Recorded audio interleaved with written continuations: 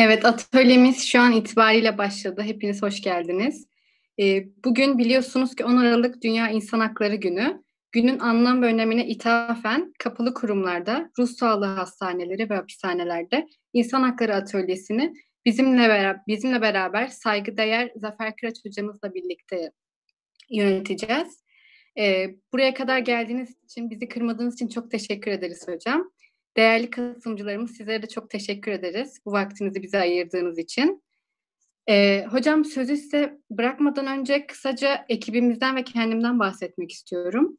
Ben Büşra Özmen, psikoloji 3. sınıf öğrencisiyim. Etkin Psikoloji ekibi kurulduğundan beri bu ekibin içinde yer alıyorum. Ee, ekibimize katılmak istiyorsanız Instagram adresimizde bulunan linkte başvuru yapabilirsiniz. E, aynı zamanda etkinliklerden ve projelerimizden haberdar olmak isterseniz de WhatsApp gruplarımıza ve Telegram gruplarımıza girebilirsiniz. Atölye içeriği hakkında bilgi vereyim kısaca. Atölyemiz 40 dakika sunum, 40 dakika soru cevap şeklinde ilerleyecek. Ee, sorularınızı chat kısmından yazabilirsiniz. Ben en son bunları hocamıza ileteceğim. Evet hocam, sözü size bırakıyorum. Tamam, harika. Ben de herkese e, hoş geldiniz diyorum. Bizi şu anda dinleyenlere, izleyenlere. E, katılımcı olmalarını da bekliyorum açıkçası. Özellikle soru cevap bölümünde e, sorularıyla e, ya da katkılarıyla bazen soru değil katkı da olabilir. E, hatta eğer katılımcılarımız arasında bir deneyim sahibi olanlar varsa bir hapishane ya da ruh sağlığı hastanesi deneyimi olan e, ve konuşmak isteyen ya da bu kurumlarda çalışan bir görevli de olabilir. Bir psikolog, bir psikolojik e, danışman e, e, olabilir, hekim olabilir, fark etmez, hemşire olabilir. Deneyimlerini de bize aktarırlarsa benim en sevdiğim kısım o kısımdır çünkü. Ben de oradan besleniyorum ve hem bilmediğim şeyleri belki öğrenme şansı elde ediyorum. Hem de iyi bir tartışma oluyor. Ben de sana ve etkin psikoloji ekibine çok teşekkür ediyorum. Ee, özellikle bu süreçte böyle bir etkinlik düzenlediğimiz için. Ee, neden e, bu süreç ne e, özelliği var? Bir kere e, aslında konuşacağımız kapalı kurumları e, bizatihi hepimiz yaşıyoruz artık bu süreçte. Ee, ülkeler kapandı değil mi? Sınırları kapattık. Şehirler Öyle kapandı. Ee, belli yaş gruplarını evlere kapattık. Dönem dönem hiçbirimiz çıkmadık. Hala süren böyle kısıtlamalar da var. Belki önümüzdeki süreçte biraz daha da artacak bu. Bu nedenle bugün kapalı kurumları konuşuyor olmak ayrıca önemli diye düşünüyorum. Ve belki bir empati yapma, kapalı kurumlarda yaşayan insanlarla ilgili de bir empati yapma şansı e, verir bu hapsedilme evlerimize, ülkelerimize, şehirlerimize hapsedilme hali bir empati kurmamıza da yardımcı olur diye düşünüyorum. Ayrıca bir şey çok dikkatimi çekiyor uzun bir süredir. Psikoloji öğrencileri ya da PDR öğrencileri ya da mezunları çok fazla gruplaştılar böyle. Ee, bu iyi bir şey. Yani çok fazla WhatsApp grupları var, etkinlik grupları var ve farklı farklı bakıyorlar aslında hayata. Bu çok renklilik benim çok hoşuma gidiyor. Çok keyifli bir şey. Etkin psikolojide onlardan biri. Ee, sizin de yolunuz açık olsun diyorum. Çok teşekkür ederiz hocam. Evet. Ee, umarım e, güzel şeyler yaparsınız. Ben de her zaman Umarım. katkıda bulunmaya hazırım.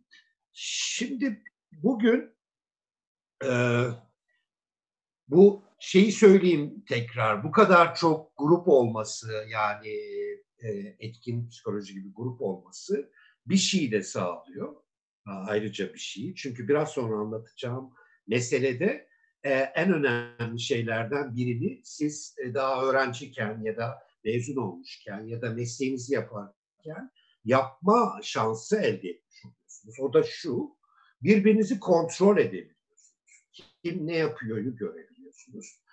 Tek doğruyu ben biliyorumdan kurtulup onlar ne diyor bu konuda diyebiliyorsunuz. O yüzden e, bu renklilik ve çeşitlilik çok önemli. E, ben bütün e, gruplara böyle kolaylıklar diliyorum.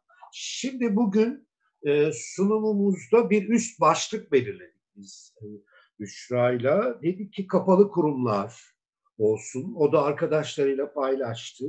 Kapalı kurumların içinde de özellikle ruh sağlığı hastanelerini ve hapishaneleri yani bu en önemli gibi görünen bütün hepsi önemli de biraz sonra sayacağım kapalı kurumları size. Ama bu iki tanesi biraz daha biraz görünür olan, biraz daha bize dokunan bir yerlerden e, olduğu için bu iki kuruma yoğunlaşalım. Bunun içinde de belki e, biraz daha hapishanelere birazcık daha yoğunlaşırız ve sonrasında da yani her iki kuruma yoğunlaştıktan sonra biraz daha hapishane ve hapishanede belki çocuk ve anneleriyle yaşayan bebekler kısmına biraz daha fazla zaman ayırırız.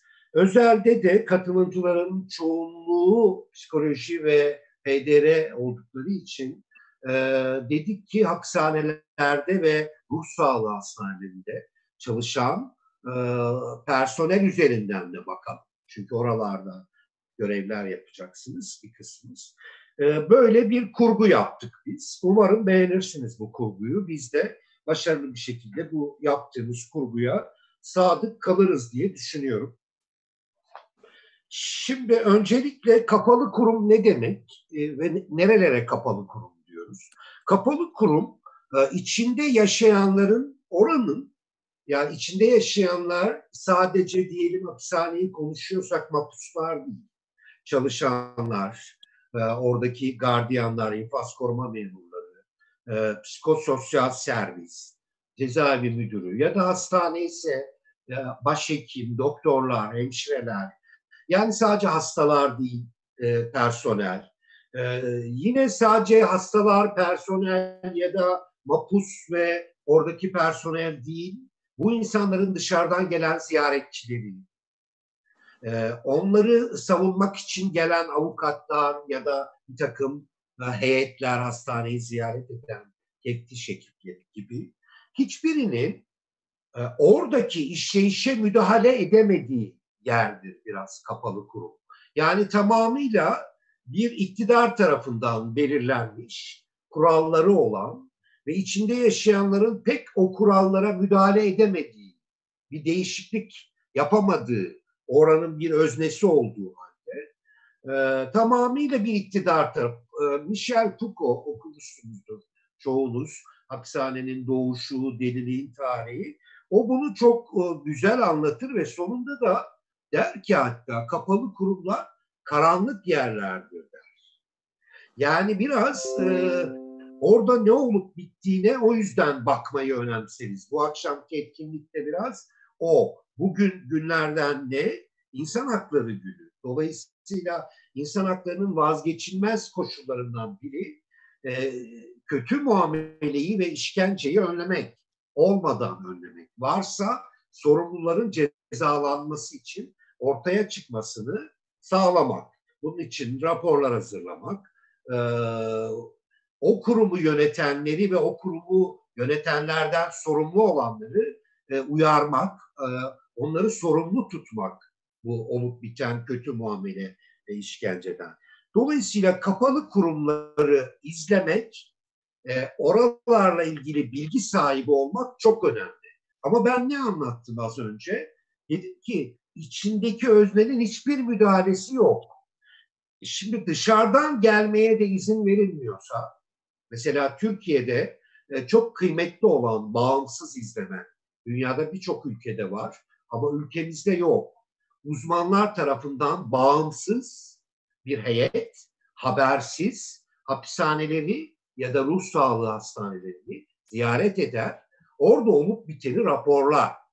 Buna da izin verilmediği için e, bu kapalı kurumda ne olup bittiğini bizim bilme şansımız pek kalmıyor. İşte tam da bu nedenle kapalı kurum diyoruz. Bu nedenle Foucault karanlık yerler diyor kapalı kurumlar. Yani tamamıyla iktidarın yönetiminde olan ve bize hesap da vermek istemeyen, eğer izlemeye izin vermiyorsa hesap vermek istemiyordur. Orada ne olup bittiğini göstermek istemiyordur bize. Dolayısıyla kapalı kurumları ben biraz böyle açmış olayım size. Örnek verdikçe daha iyi anlaşılacaktır. E, işte hapishaneler dedik, ruh sağlığı hastaneleri dedik.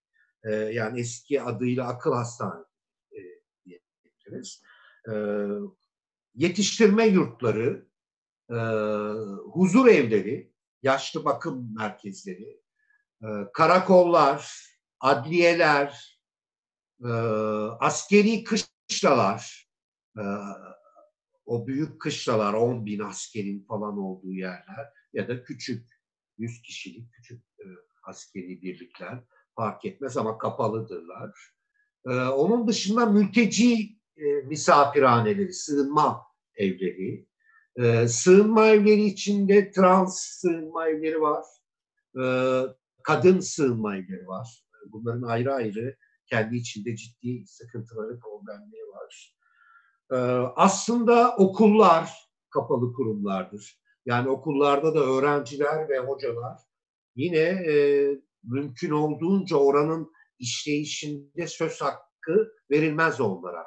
E, daha edilgen bir halde tutulurlar ve e, oranın işleyişine çok fazla katkıda bulunmazlar. Hatta bazen bazı üniversitelerimizde öğrenciler ya da hocalar bir müdahale etmeye kalkıştıklarında oranın işleyişine hemen durdurulurlar. Çünkü bir bir iktidar yönetir orayı, bir bir göz, e, bir akıl, tek akıl gibi bir şey.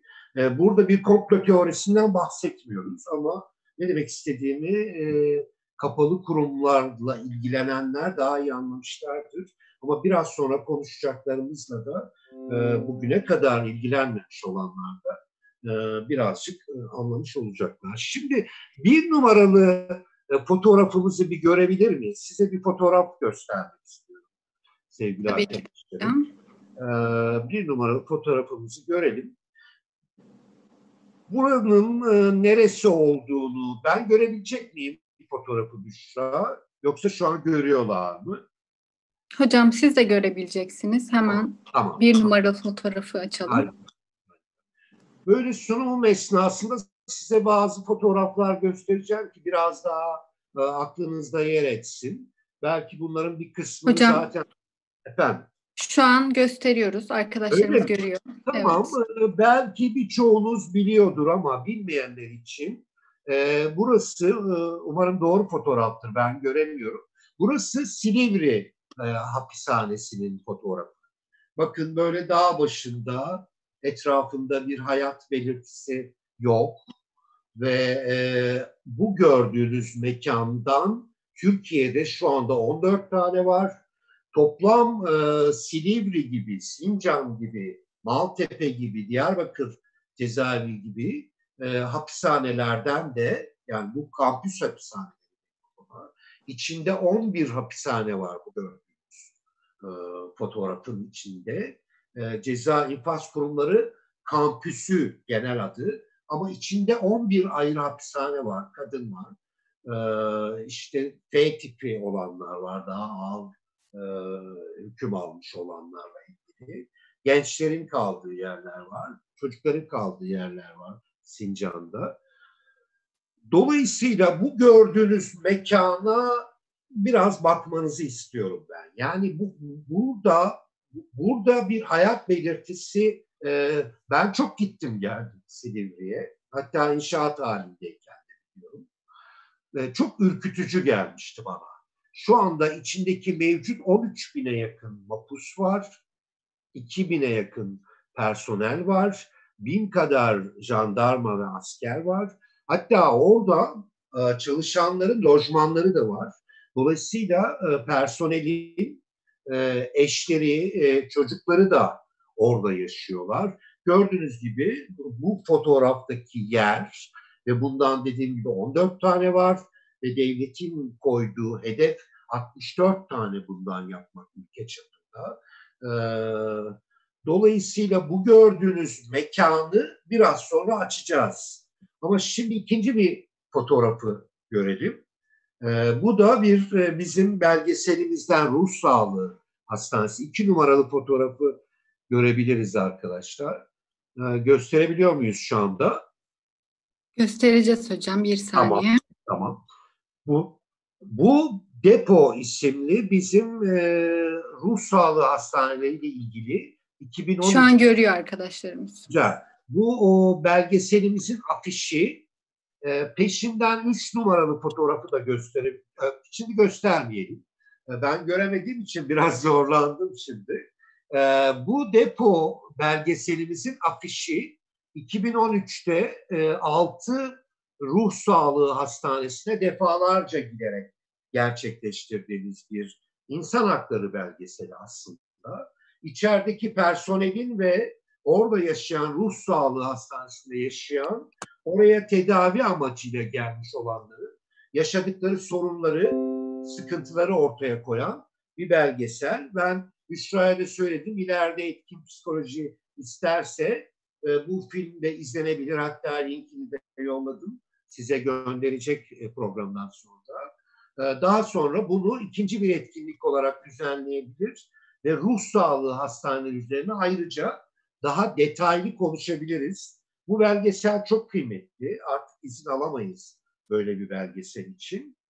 Ee, ruh Sağlığı Hastanesi'nin bütününü gösteren öyle bir fotoğraf bulamadım ama şimdi dördüncü fotoğrafı bir gösterelim.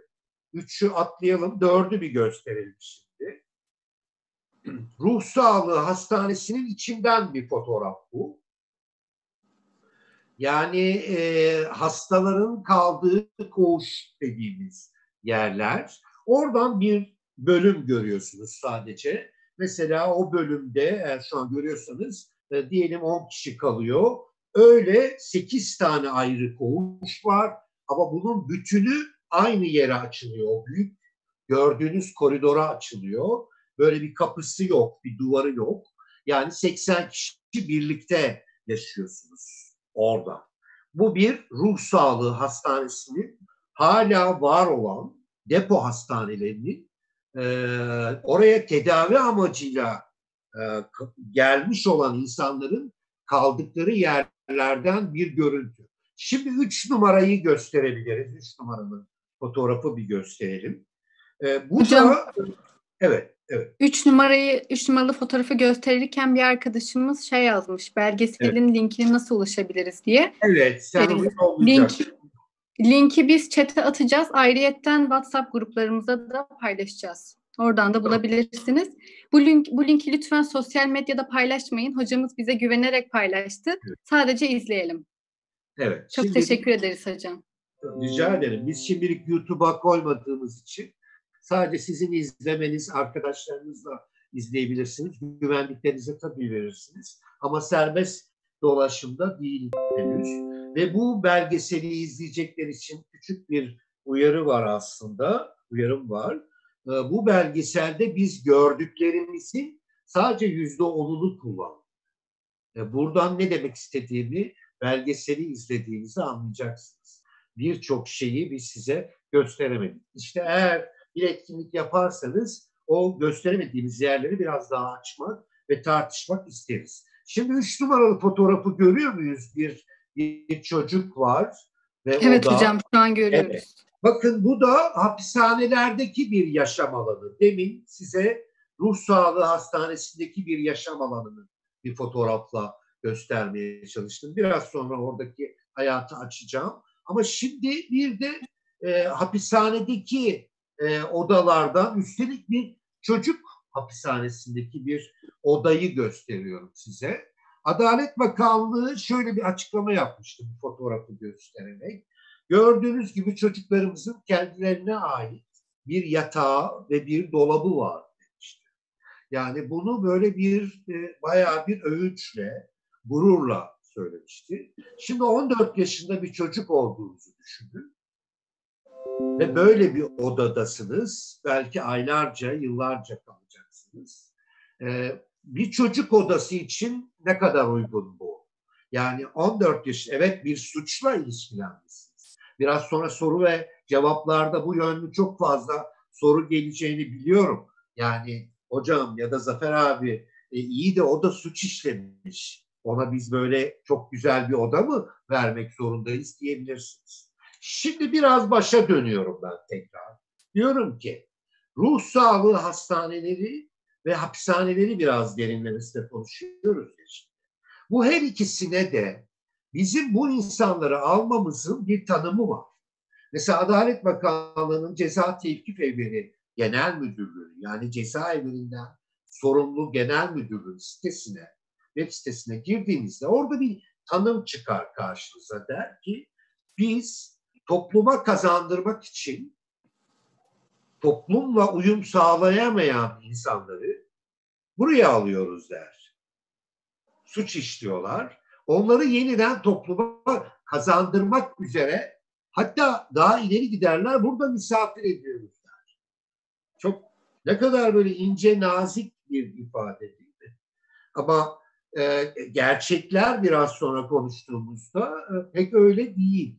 Yani e, hapishanelere eğer siz bir insanı topluma yeniden kazandırmak için alıyorsanız, çünkü hapishanelerdeki mevcut mapus grubuna baktığınızda bu insanların toplumla bir problemi var.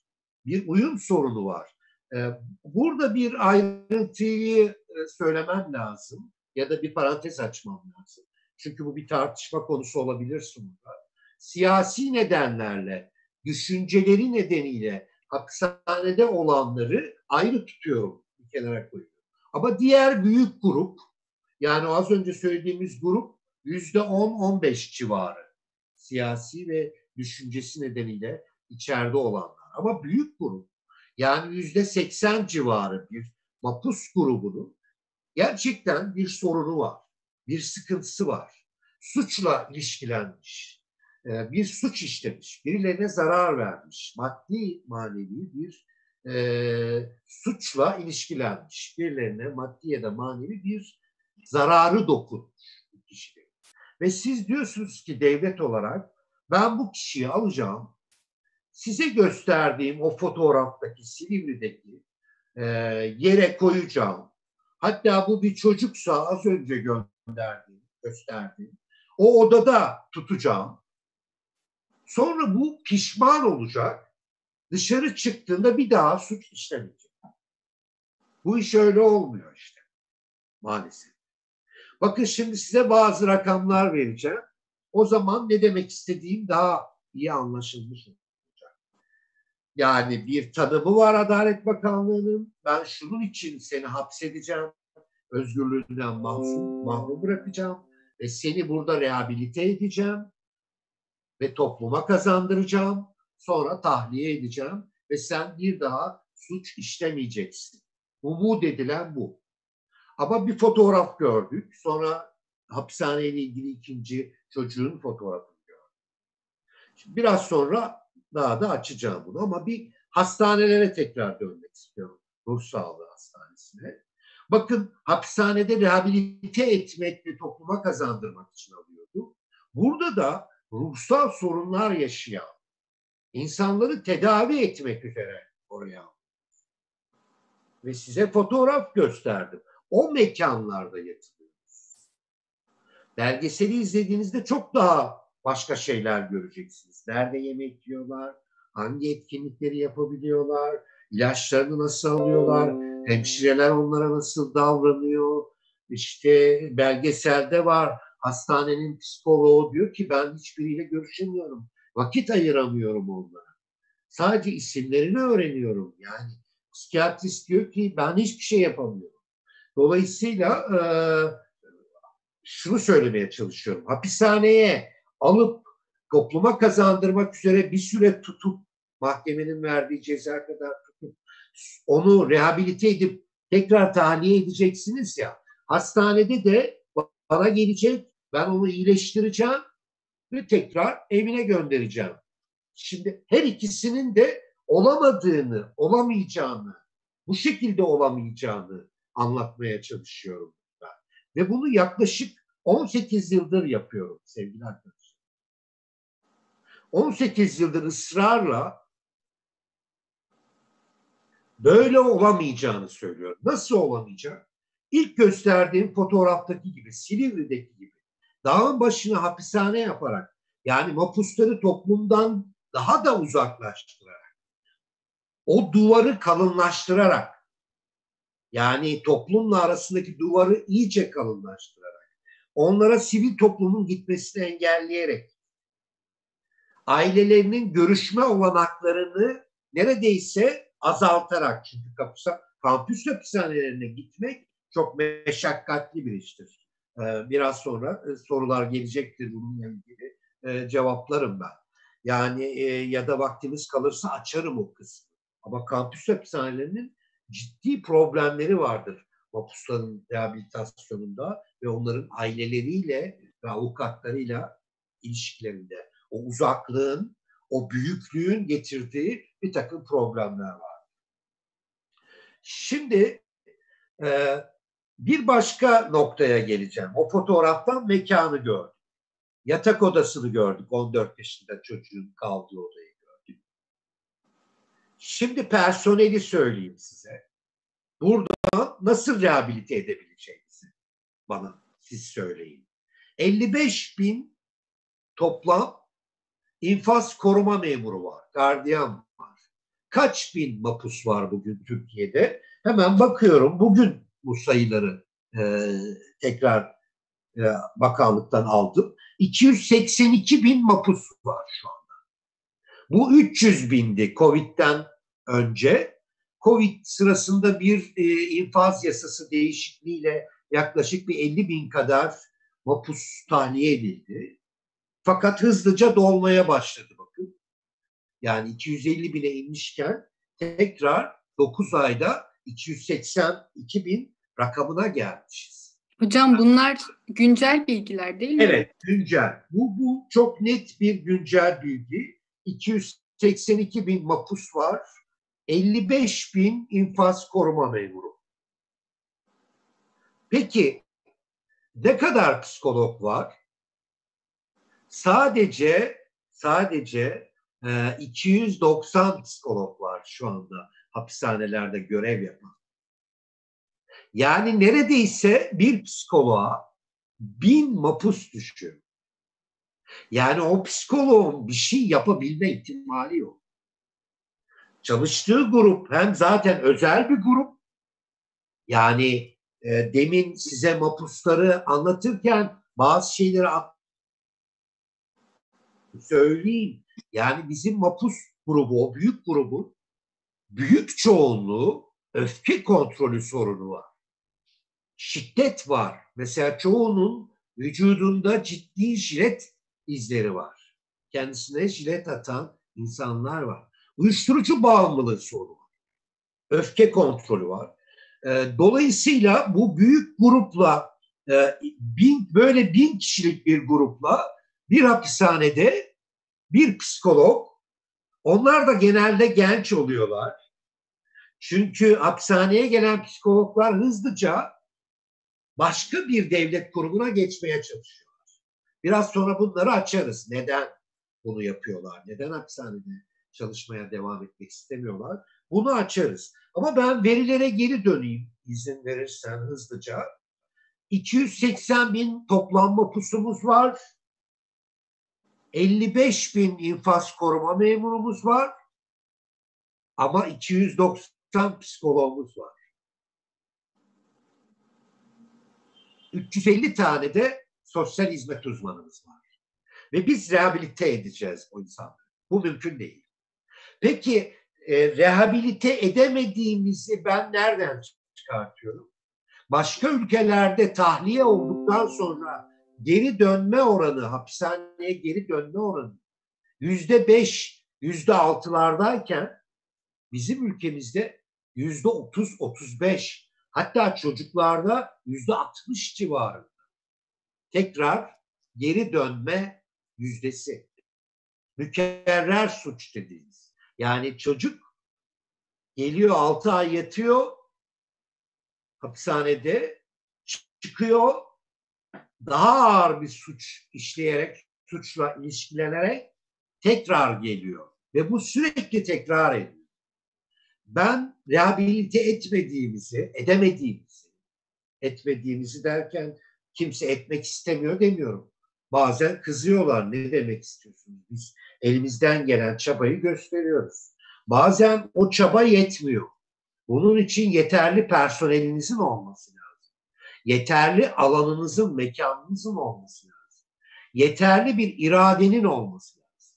Yani hala bir gardiyan gelip e, koğuşun kapısına vuruyorsa, günaydın demiyorsa orada problem vardır. Yine bana biraz sonra sorularda gelecektir. Ya niye gardiyan oradaki hırsıza, tecavüzcüye günaydın desin? Zafer abi diyebilirsiniz. Ama bir dakika siz dediniz ki ben bu insanları rehabilite etmek için buraya aldım. O zaman onlara insan gibi muamele edeceksiniz. Yoksa rehabilite edemezsiniz. Rehabilite edemezseniz ne olur? Az önce örnek verdim. Çıkar, başka bir suçla ilişkilenerek, üstelik daha ağır bir suçla bu sefer. Çünkü suçlarda bir hiyerarşi var.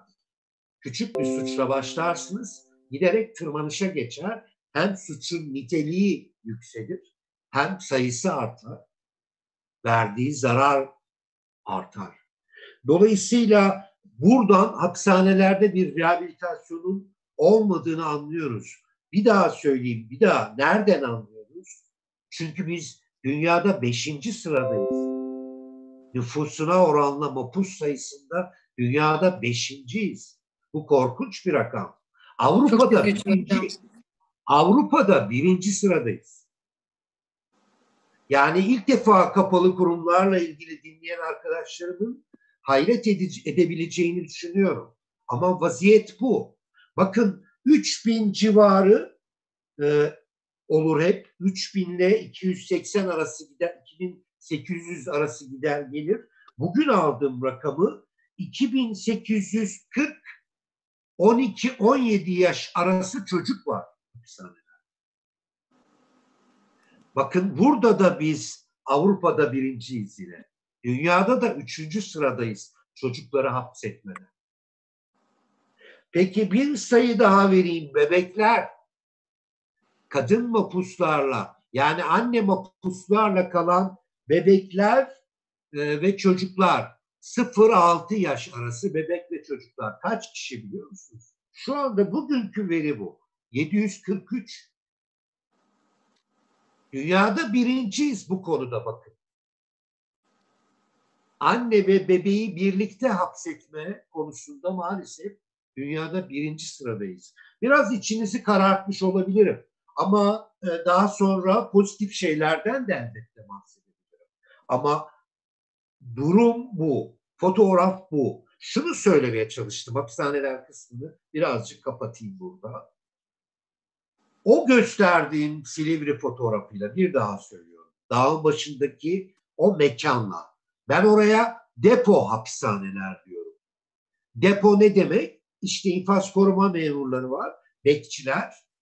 İçeride de sizin e, tırnak içinde söylüyorum mal gibi gördüğünüz, konserve kutusu gibi gördüğünüz 280 bin insan var. Çünkü o mekanda rehabilitasyonu yapamazsınız. Personel sayılarını verdim.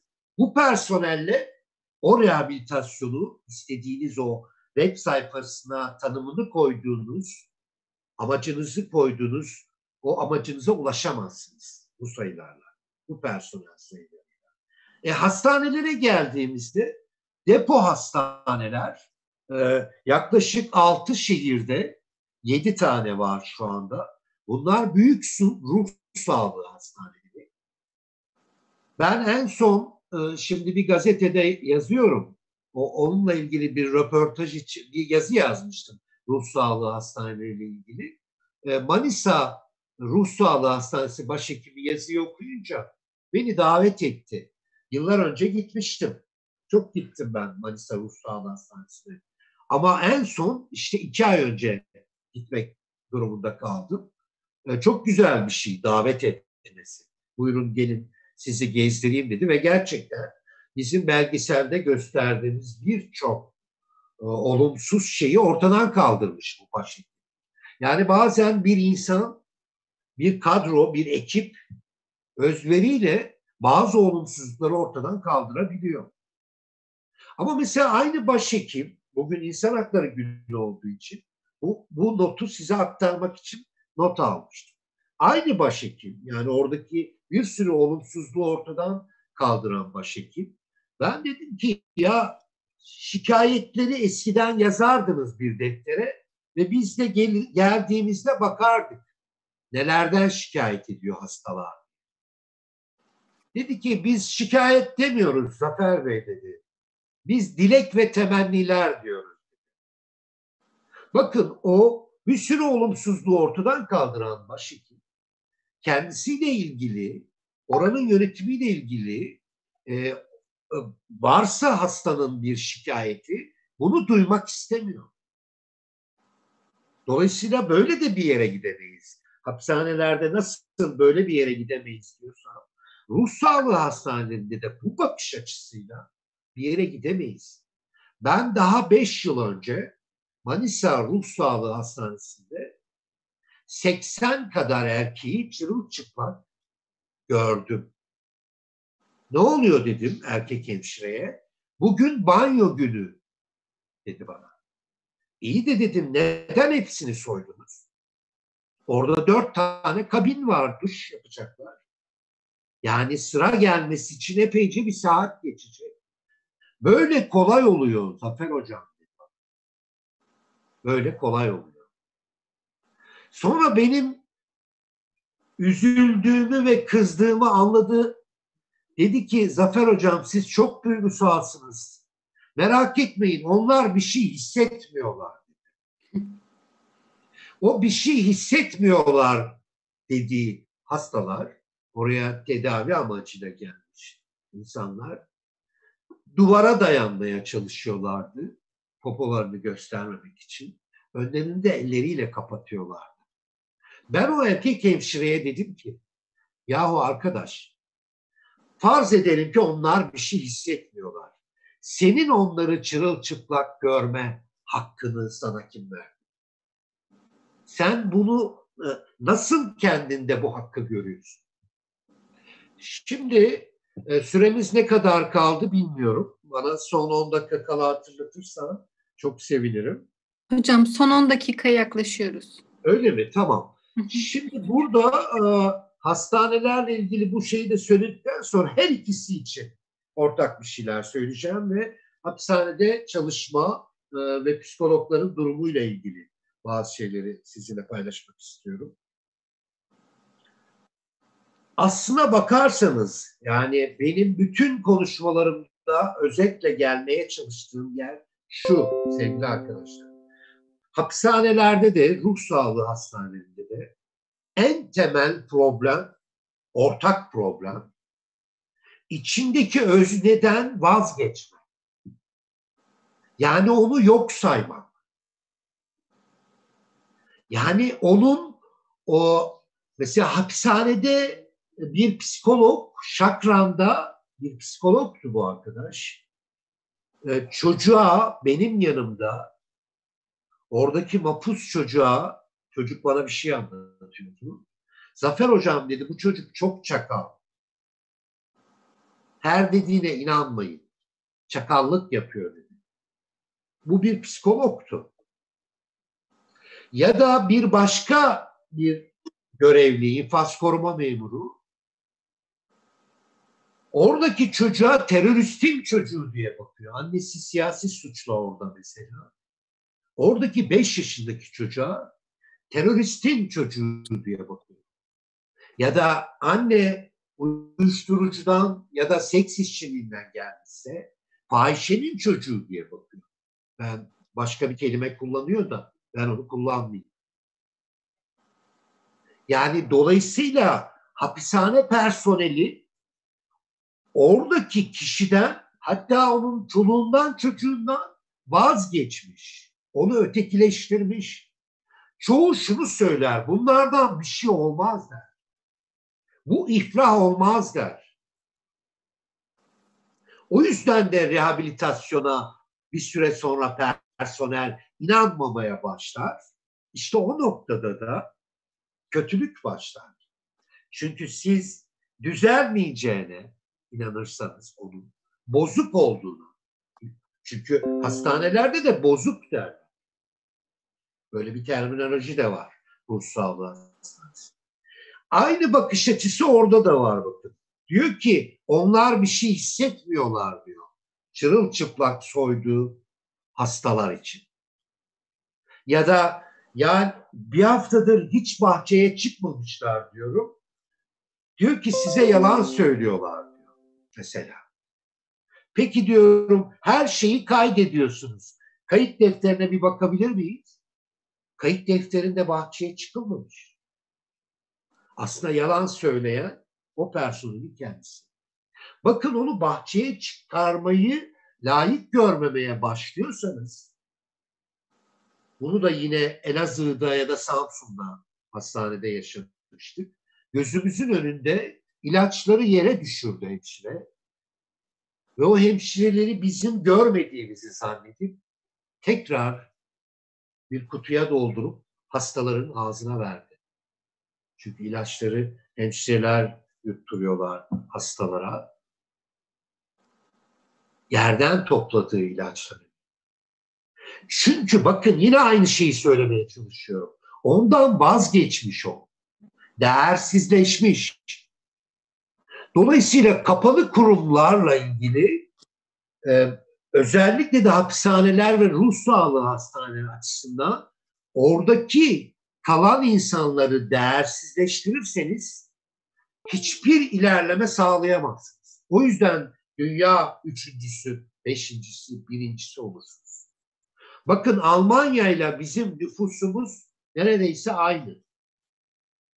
Ama Almanya bundan yaklaşık bir 10 yıl önce hapishaneleri kapatmaya karar verdi. Dedi ki kapatarak olmuyor bu iş.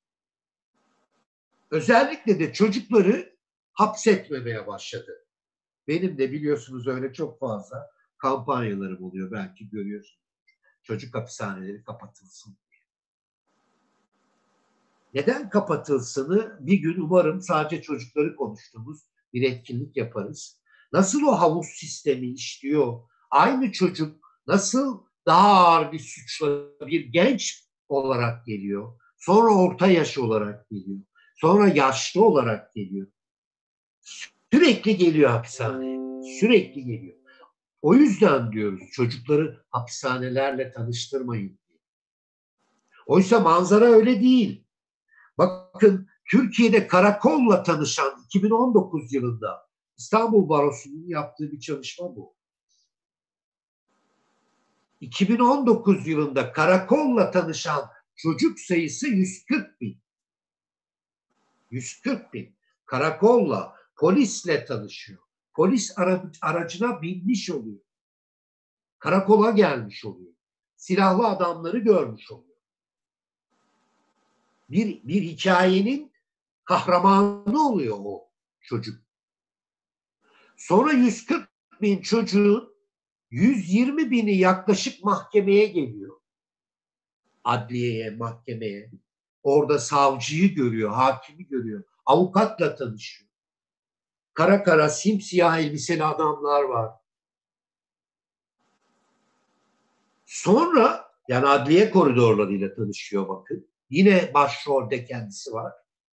Sonra bu çocuklardan yaklaşık 25 bini hüküm alıyor ve cezaevleriyle tanışıyor.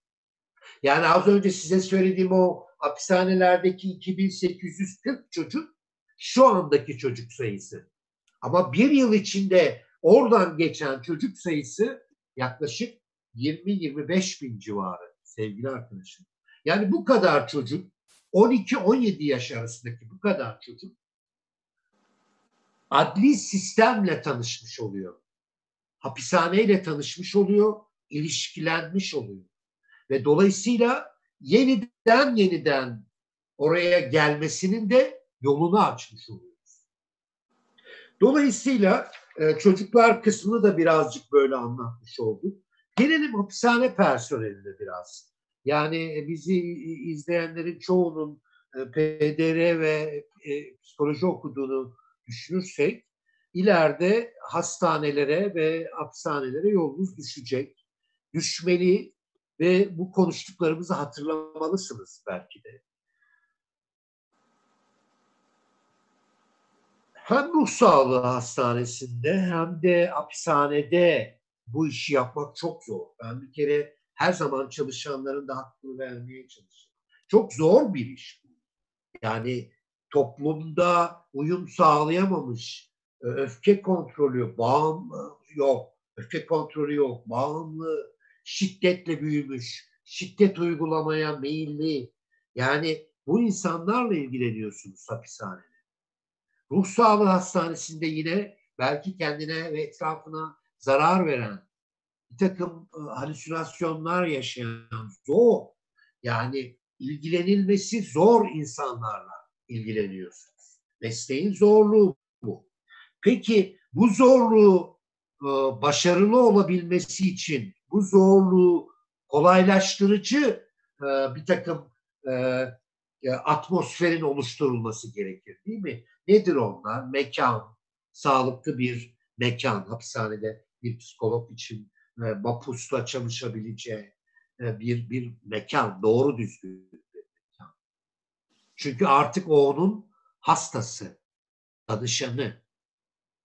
Mapus değil bir psikolog için. Yani eğer bir psikolog onu e, mapus olmaktan çıkarıp e, ona yardımcı olacağı, birlikte bir şeyleri çözecekleri birisi olarak görmüyorsa zaten işi çok zor. O yüzden çakal diyor o psikolog. O terbiyeyi almamış çünkü. O etik şeyini kaybetmiş. Dolayısıyla hem hastanede hem hapishanede psikolog olmak oldukça zor. Mekan sorunu var. İşlerini yapabilecekleri doğru düzgün bir mekana sahip değiller. Bu belgeseli izlediğinizde de göreceksiniz. Psikologlar diyor ki altı hastanenin psikoloğu da burayı psikiyatristler yönetiyor ve bize hiçbir söz hakkı vermiyor. Ben niye buradayım o zaman? Benim ben okudum.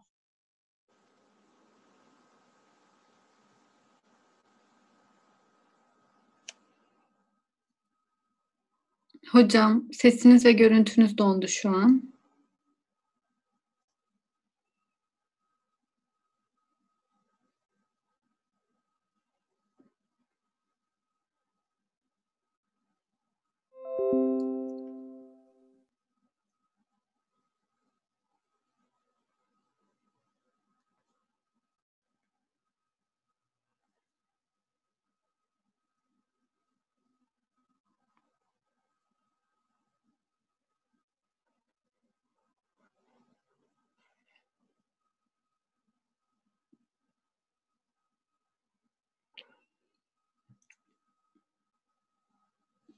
Kusura bakmayın arkadaşlar.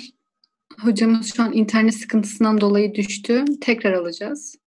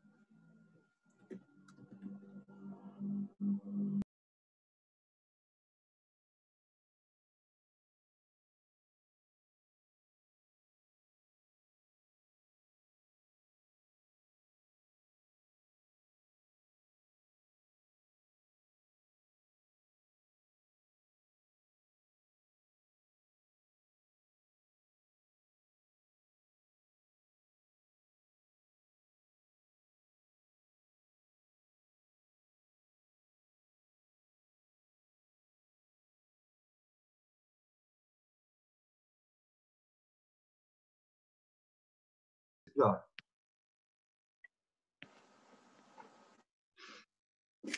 Hiç sorun değil hocam. Tamam. Başladık mı? Kusura bakmayın ne olur. Burası çok yağmurlu. Hocam. Evet, açıldı mı şu anda? Yok. Heh, tamam.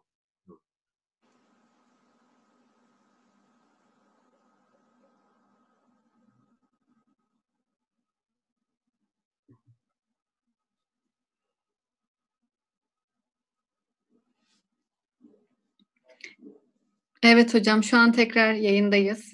Tamam e, lütfen bütün katılımcılardan kusura bakmayın. E, çok yağmur var. Ben Ayvalık'tayım şu anda ve inanılmaz bir yağmur fırtına dışarıda. Bütün elektrikler gitti.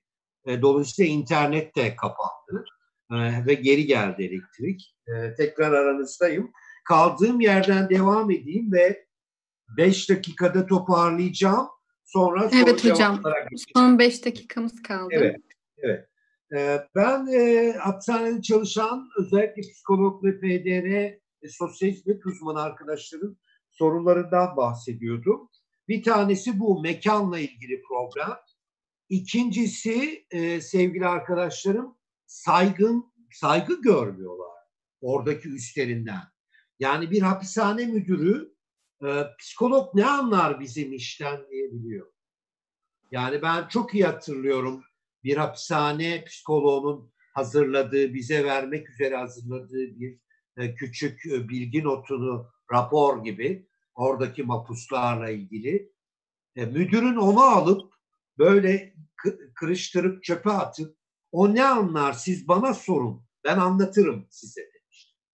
Yani oradaki psikolog bir anda hiçleştirilmişti. Yani o bütün bilgisi, birikimi o çöp kovasına atılmıştı. Dolayısıyla hapishanede ve ruh sağlığı hastanesinde çalışanların e, psikolog ve e, sosyal hizmet uzmanı, PDR, e, öğretmen, e, bu, dışarıdan gelen sanat e, eğitmenleri, halk eğitimden gelen bu insanların e, özellikle orada varlığı ayrıca önemli.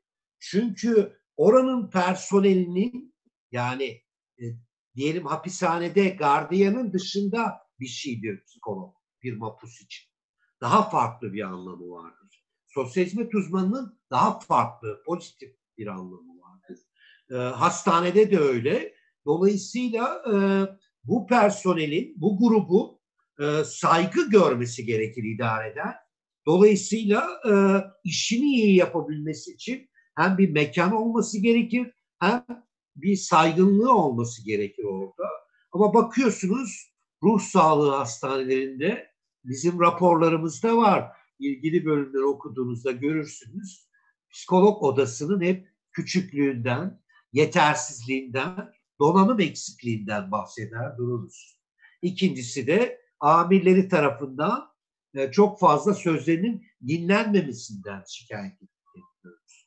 Aynı şekilde hapishanelerde bir psikolog bir çalışma yapmak istiyor bir grup mapusla. O öyle olmaz güvenlik nedeniyle. Bu böyle olmaz güvenlik nedeniyle. E, o zaman e, o psikoloğun kendi mesleki etik kurallarını bir kenara koyup o zaman oradaki o aklı yani orayı yöneten aklı aklıyla ve gözüyle bir şeyler yapmaya başlaması gerekiyor. O zaman da ortaya ne rehabilitasyon çıkıyor hapishanede ne de ruh sağlığı hastanesinde e, oraya gelip de e, iyileşmiş e, insan sayısı çıkıyor. Bizim umut ettiğimiz kadar çıkmıyor. O yüzden bütün ruh sağlığı hastaneleri, depo hastaneler durumunda 30 yıldır o hastanede kalanlar var biliyor musunuz? O başhekim beni davet ettiğinde gösterdi. Bakın dedi 30 yıldır burada. E peki nasıl oluyor? Orası evi olmuş artık. Nasıl olacak? Yani dolayısıyla defalarca gidip gelen hastalar var ruh sağlığı hastanesinde. Hapishanelerdeki tekrar gelme oranının aynısı ruh sağlığı hastanelerinde var. Bu işinizi, işimizi iyi yapamadığımızı gösteriyor bize.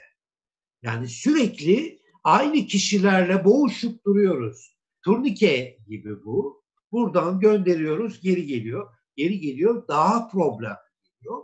Bir süre sonra orada çalışan psikolog, psikiyatrist, sosyal hizmet uzmanı, hekim, hemşire, e, gardiyan, cezaevi müdürü hepsi bıkıyor, tükeniyor ve kötülük başlıyor. Bunu e, Arendt vardır, Anna Arendt, e, kötülüğün sıradanlığı der Nazi dönemini anlatırken eğer siz e, değersizleştirirseniz karşınızdaki kişiyi e, ona her şeyi yapmaya başlarsınız. Dolayısıyla bizim en büyük problemimiz bu. E, hapishanelerdeki ve ruh sağlığı hastanelerindeki insanlarımız değerli değil artık. O yüzden gözden çıkarılabilir, e, eksik olabilir her şey. Çünkü onlar suçludurlar, çünkü onlar delidirler. Her şeyleri tam olması gerekmez. İşte bu bakış açısı e, felaket. Belki e, birazdan bunları e, sorularla biraz daha açarız. Çünkü e, tam da kötülük bugün insan hakları günü olduğu için ta 1948'lerde kabul edilen bu insan hakları günü e, insan hakları sözleşmeleri, bildirgeleri kolay elde edilmemiştir. Tam da bunun içindir. Az önce size anlattığım şeylerin olmaması içindir. Hangi suçla ilişkilenip hapishanede olmuş olursa olsun temel insan haklarına ulaşma hakkı vardır. Hiçbir mahkeme bir mapusa dayak atın demez. Ona kötü yemek vereceksiniz demez. Mahkeme sadece özgürlüğünden kısıtlar o kişiyi. Özgürlüğünden alıkoyar. Dolayısıyla bizim kötülük yapma hakkımız yoktur. Aynı şekilde hastanelerde de o anlamaz, o bir şey hissetmiyor diye onu çırılçıplak saatlerce banyoyu bekletemeyiz. Onu haftalarca açık havadan mahrum bırakamayız, anlamıyor diye, bir şey hissetmiyor diye. Yani umudu kesemeyiz, e, değersizleştiremeyiz. İnsan hakları tam bu noktada devreye giriyor. Hiç kimseyi değersizleştiremeyiz. Ona kızabiliriz. Kızdığımız için, o bir hata yaptığı için ceza vermiş olabiliriz. Ama o ceza bile kendi içinde temel insan haklarını barındırır. Nedir onlar? Sağlık hakkı, yaşam hakkı. Çok önemli bir şeydir. Kendini geliştirebilme hakkı. Bakın yıllar önce e, söylenmiş bir cümle ve bugün e, ceza evi kuralları içine de girmiştir Avrupa'da. Türkiye'de bunun altına imza atmıştır. Şöyle bir cümle kullanırız biz. Bu kural şudur. Deriz ki hapishanelere giren kişi girdiğinden daha gerilemiş olarak çıkmamalıdır. Çünkü zaten hayatın epeyce gerisinde başlayan kişiler bunlar. Geçmişlerini, yaşamlarını düşündüğümüzde. Dolayısıyla bir de orada geriletmeyelim biz. Tam aksine der, cümle şöyle devam eder. Gerilemeden çıkmalıdırlar ve eksiklerini tamamlayarak çıkmalılar. Eğer eğitim eksikleri varsa bunları tamamlamalıyız. Eğer e, bağımlılarsa bağımlılıklarını çözerek tahliye etmeliyiz. Eğer e, uyuşturucuyla ilgili bağımlılıkları çözmeliyiz. Öfke kontrolü sorunları varsa bunu çözmeliyiz. Öyle tahliye etmeliyiz. Yoksa günü geldi biz bırakalım dersiniz. İçeride psikologla görüşemez. Sosyal hizmet uzmanıyla etkinlik yapamaz. Sadece infaz koruma memurlarının bilgi, zeka ve e, vicdanına kaldığında da ortaya 300 bin mapus çıkar. 10 bin civarı depo hastanelerde 12-13 bin civarı hasta çıkar karşınıza. Bunlar kalıcı hastalar. Hep oradalar yani. İstersen ben burada sözü bitireyim. Sorulara geçelim. Bu arada elektrik televizyon yeniden açıldı. Onu hemen kapatıp geliyor. Sorulara tamam. geçebiliriz. Hemen geliyorum. Tamam. Ben hemen sorulara bakınayım hocam.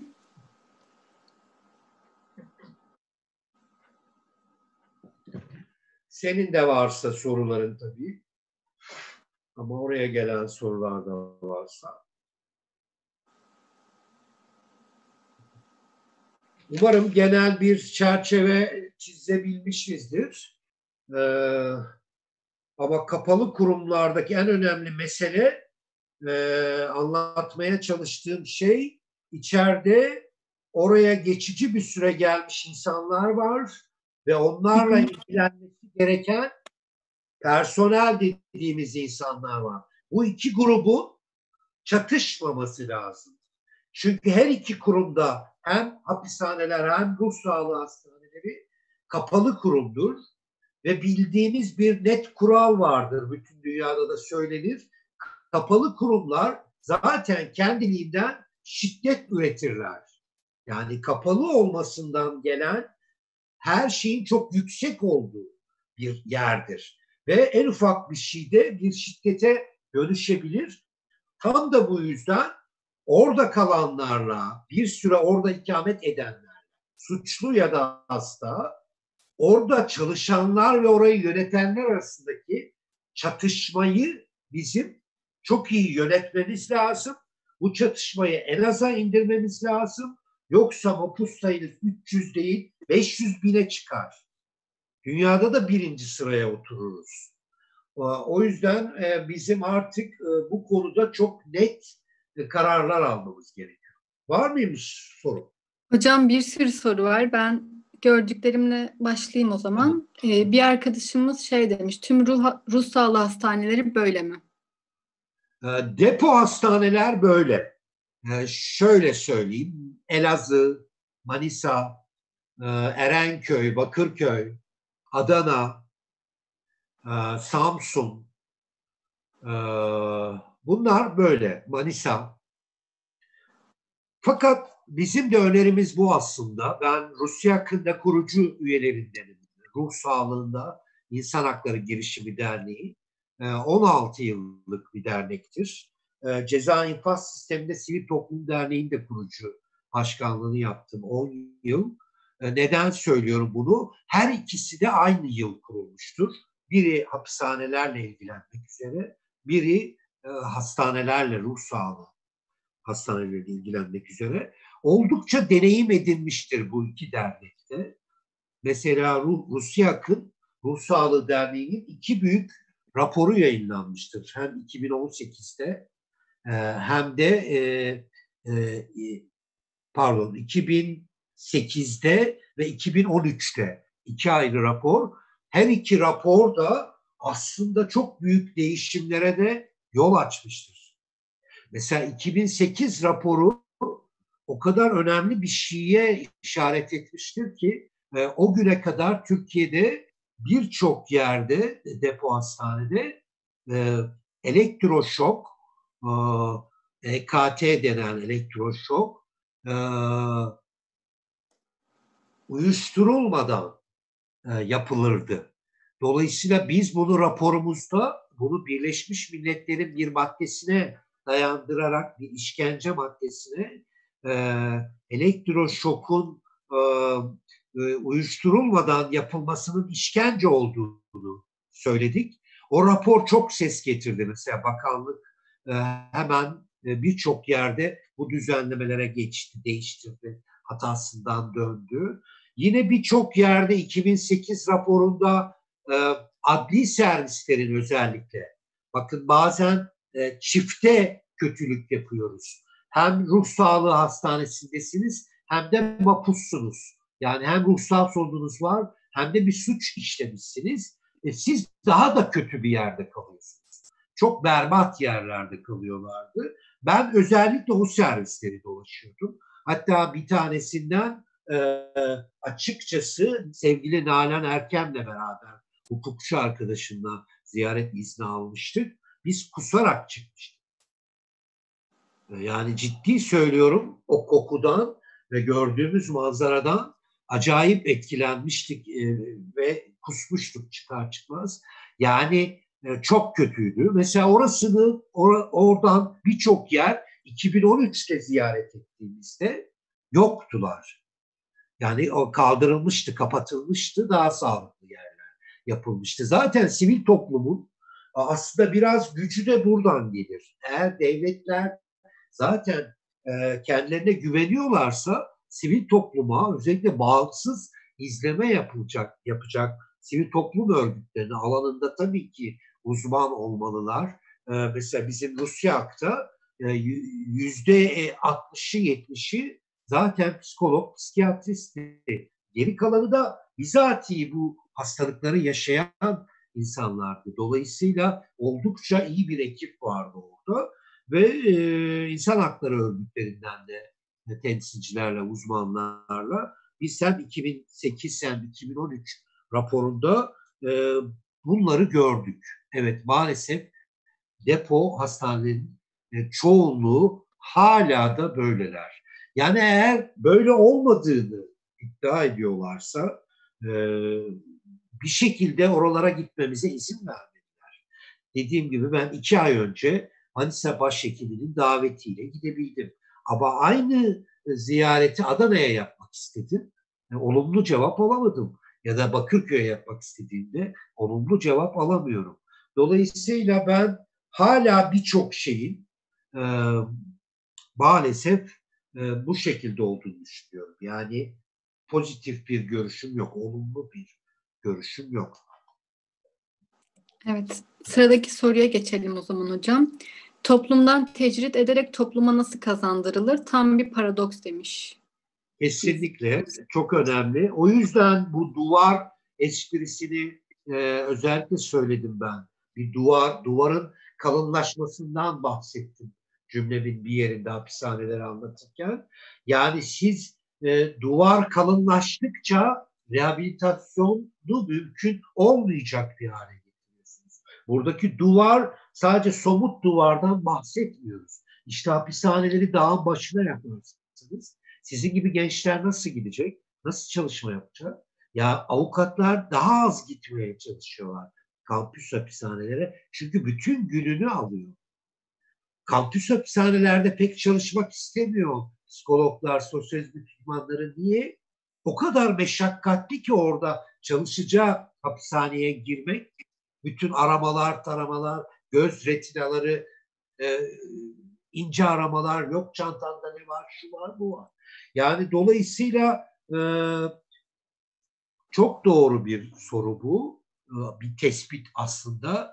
Duvar kalınlaştıkça yani zaten toplumla uyum içinde olmayan bir uyumsuzluk yaşayan kişiyi tam da o uyumu sağlamak için onun eksiklerini tamamlayıp toplumla birlikte var etmek varken yaşa, birlikte yaşamalarını sağlamak varken siz uzaklaştırarak üstüne üstlük şartlarında hiçbir değişiklik de olmuyor. Yani içeride 6 ay yatıyor, 5 yıl yatıyor, 10 yıl yatıyor ama çıktığında şartlar onun için artık içeriye girdiğinden de kötü. Neden?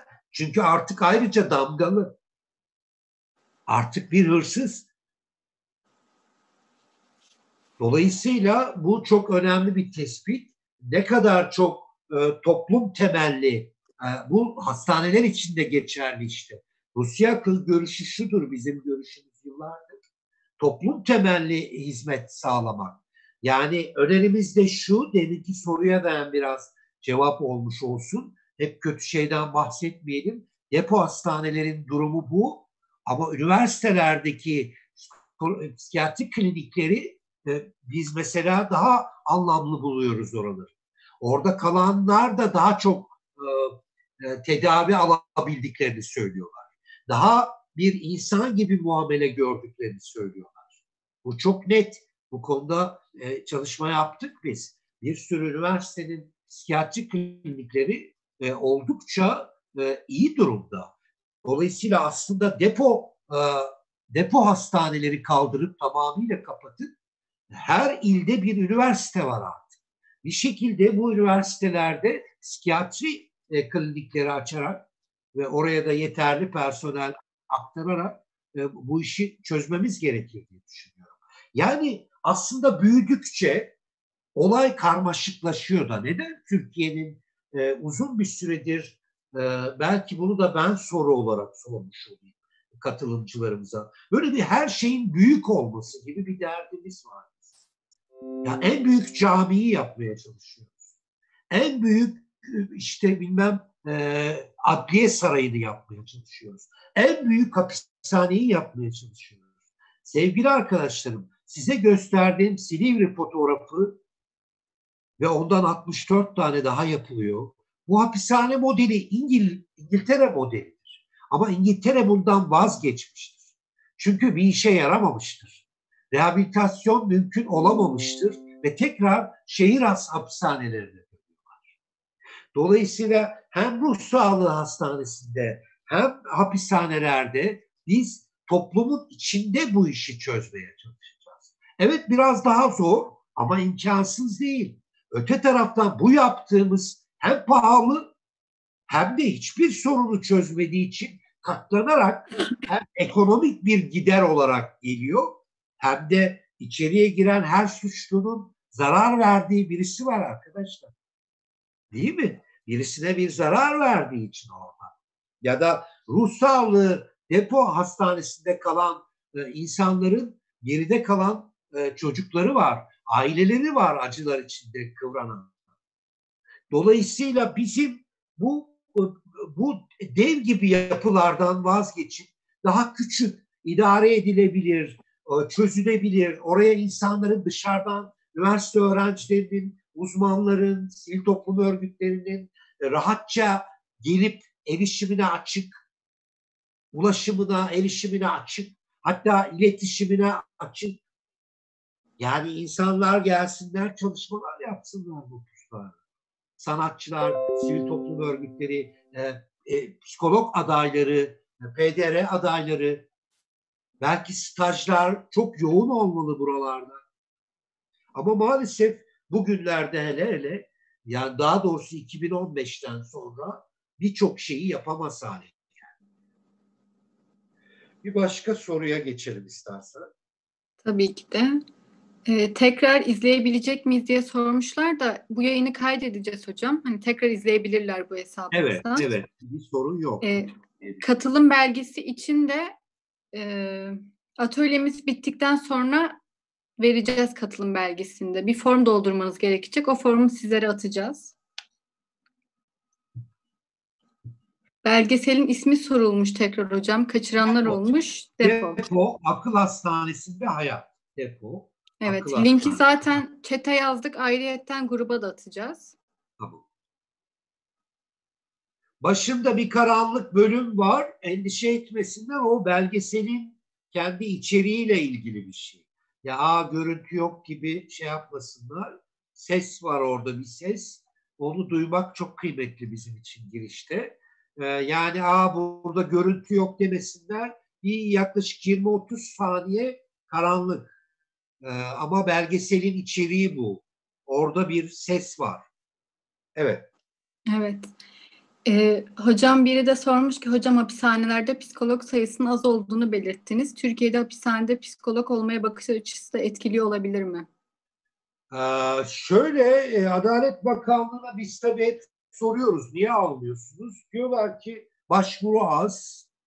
Ee, ikincisi de aldıklarımız bir süre sonra başka bir devlet kurumuna geçmeye çalışıyor. Yani huzur evine geçmeye çalışıyor işte başka bir yere geçmeye çalışıyor. Ee, çünkü hapishanede çalışma şartları oldukça zor arkadaşlarım. Yani bu konuda da biz Adalet Bakanlığı'na defalarca çeşitli öneriler sunduk. Avrupa'daki bazı model e, iyi örneklerden sunduk. Böyle yapabilirsiniz diye. Bunlar nedir mesela? E, Birçok Avrupa ülkesinde e, mesela beş gün yerine dört gün gidiyor psikolog e, hapishaneye. Diğer bir günü dışarıda kendisini geliştirmek üzere. Yine mesleki gelişimi üzerine harcıyor ve bu iyi bir şey. Bunu arada bir yerde veriyor ve o kapalı yerin kendisi üzerinde yaptığı tahribatı azaltıyor bu. Bu önemli. Ee, ücret konusu mesela e, e, psikologlar e, aşağı yukarı infaz koruma memurları kadar hatta çoğu yerde onlardan daha az maaş alıyorlar. Yani e, buna karşı çıkmak lazım. Yani özlük hakları önemli. Ama en önemlisi saygınlıkları yani o hapishanede mesleğini yapabileceği fiziki bir mekan e, sunulması ve saygı görmesi hapishane idaresi tarafından. Yani size verdiğim örnek çok yaşanan bir örnek. Yani psikolog yazdığı bir raporu kıvırıp çöpe atan müdür e, öylesine söylediğim bir örnek değil. Bu çok gerçek ve yaşanan bir örnek. Bir süre sonra tabii ki o psikolog da iyice kabuğuna çekilmeye başlıyor sadece orada bulunmayı yeğliyor. Hapishane müdürleri çok sever işini yapmayan psikoloğu. Ben hep şöyle derim. Kusura bakmayın ama derim ben müdürlerle de çok çalıştım da hapishane müdürleriyle çok çalışmalar yaptım.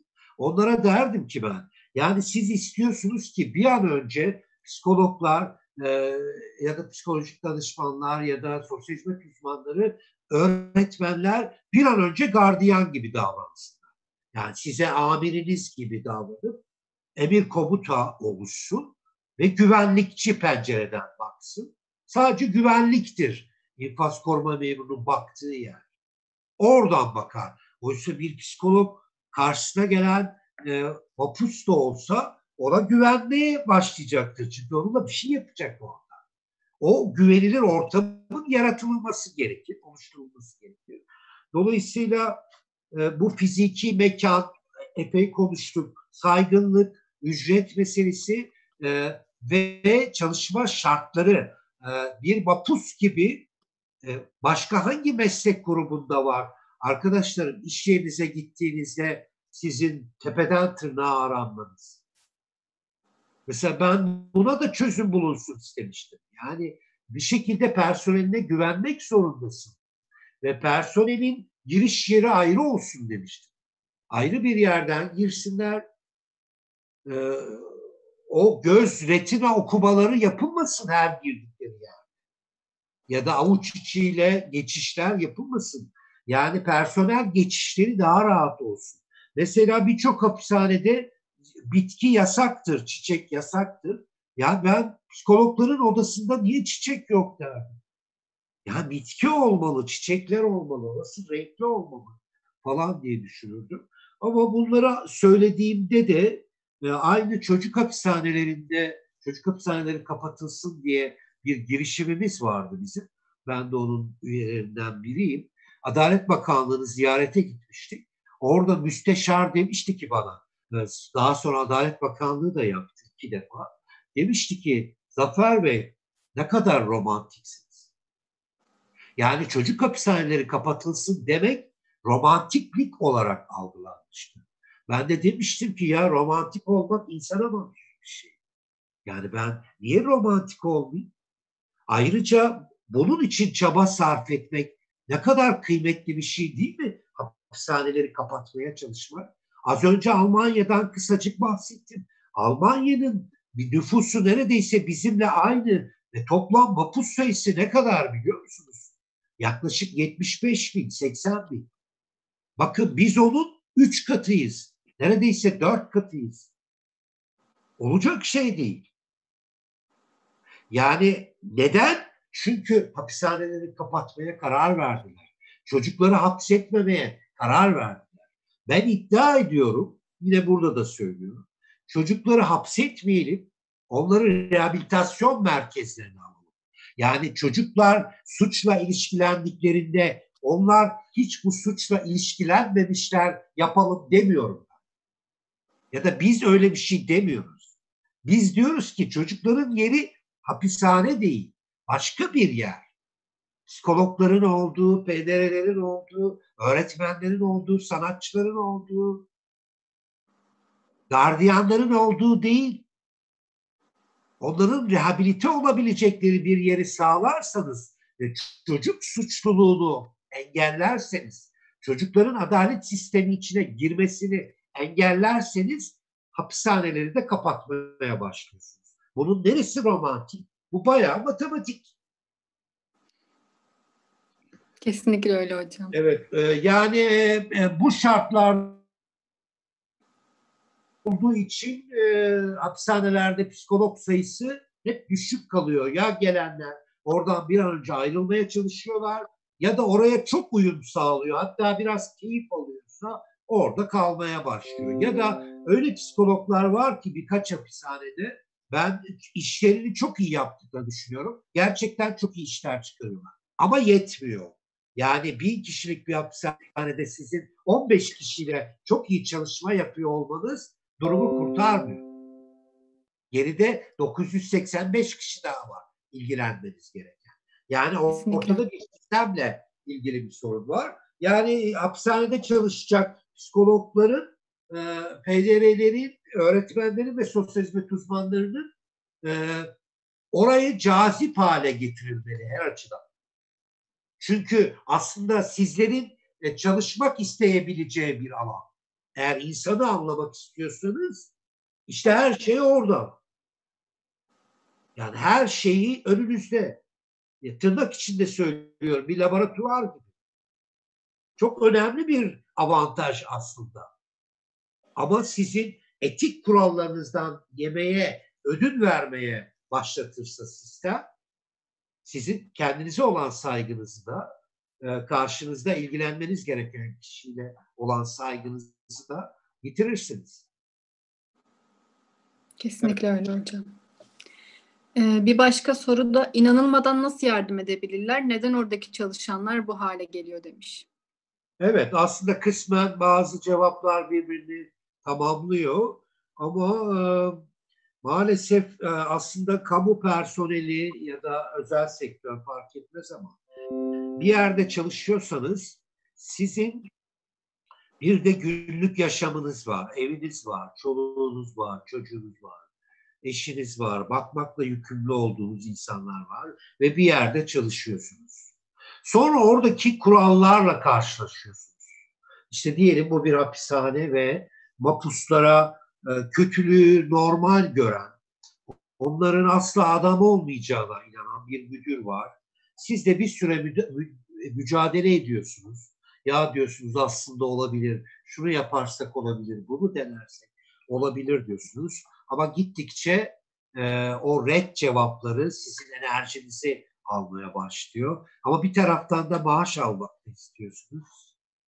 Yani bu çok e, gerçekten büyük bir çelişki. Asıl zaten e, hapishanelerdeki ben özellikle psikososyal servisin e, bazen çok gergindirler, çok çok sert tartışırlar benimle ya da sivil toplumla. Ben buna bağlıyorum. Yani gerçeği biliyoruz hepimiz. Ama onlar bu gerçeği kabul etmek istemiyorlar.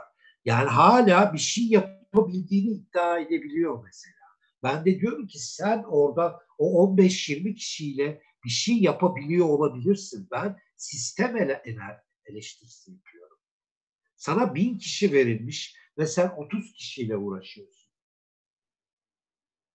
Ben istiyorum ki senin yanında bir 30 psikolog daha olsun ve 3000 kişiyle, 1000 kişiyle neyse hepsiyle ilgilenebilirim.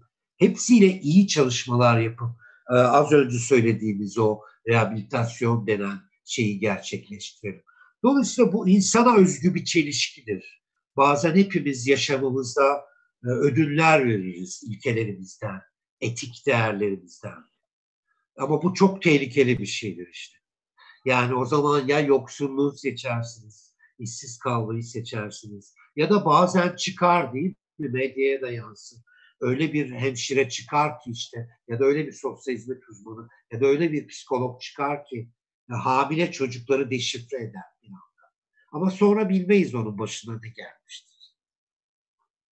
Hala mesleğinde midir? İtiraz etmiştir. Ya da işte şakranda çocukların yaşadığı istismarı ortaya çıkartan birisine sonra ne olmuştur acaba?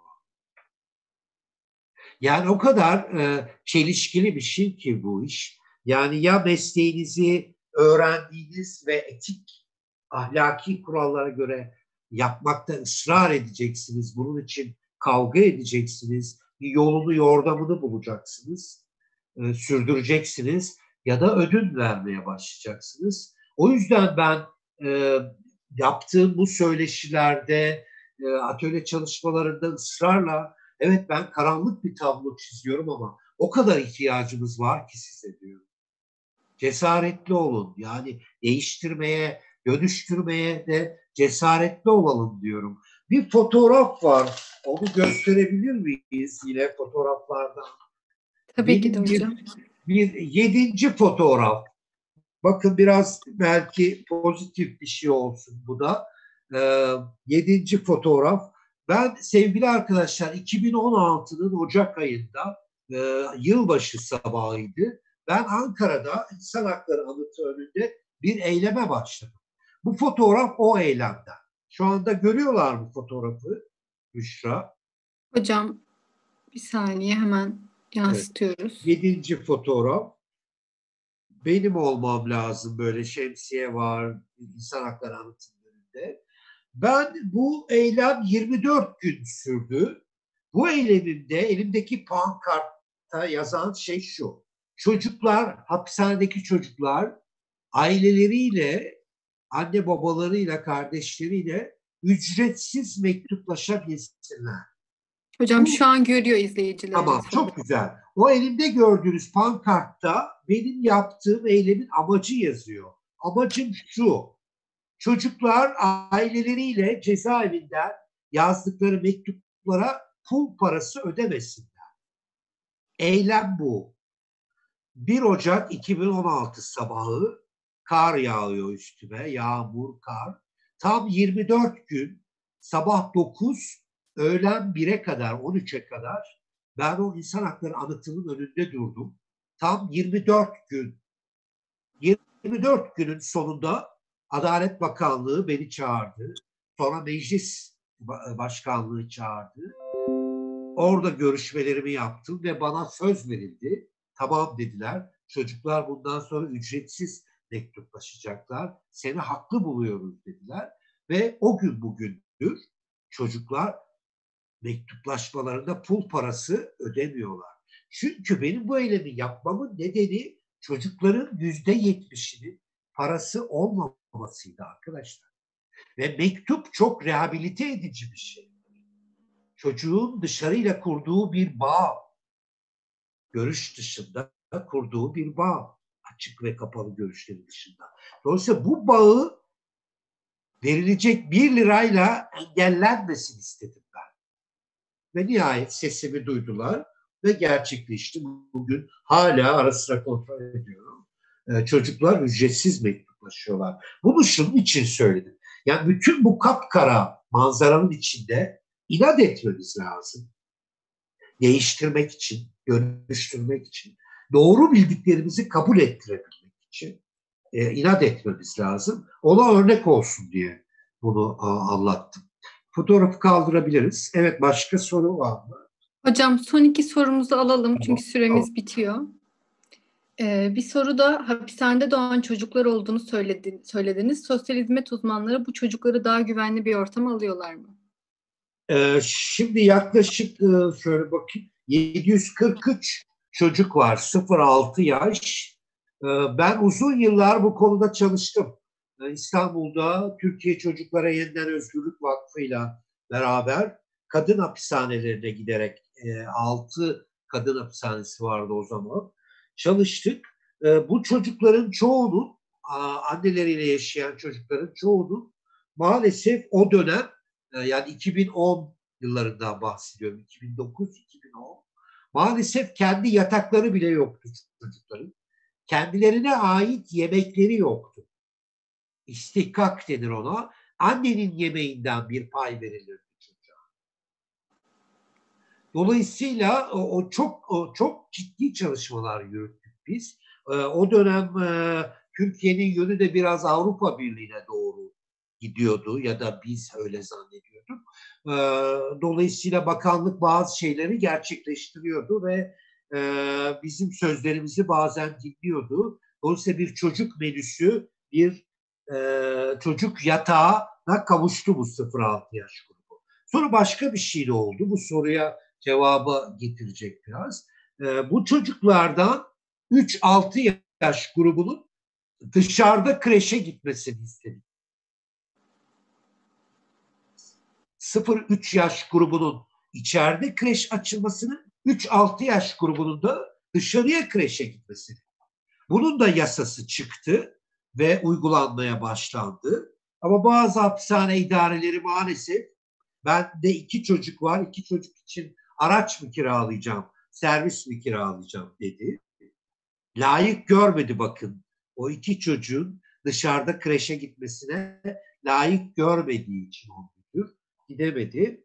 Bu arada 0-3 yaş grubu içinde kadın hapishanelerinin çoğunda e, kreşler açıldı. Sosyal hizmet uzmanları e, bu konuda çok çaba sarf ettiler gerçekten. hapishane psikologları da çok çaba sarf etti bu konuda. E, kreşler açıldı 0-3 yaş için.